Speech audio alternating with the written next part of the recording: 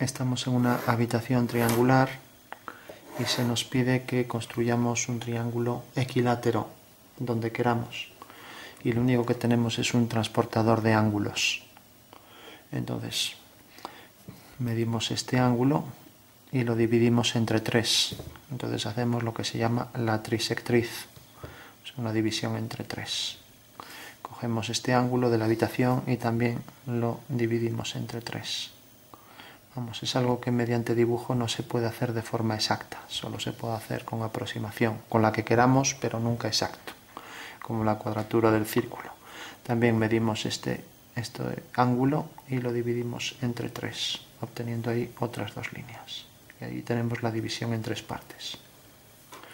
Bueno, si esto está bien dibujado, la intersección de esas líneas nos detecta aquí un triángulo que siempre es equilátero. Y eso es lo que dice el teorema de las trisectrices de Morley. Se escribe así.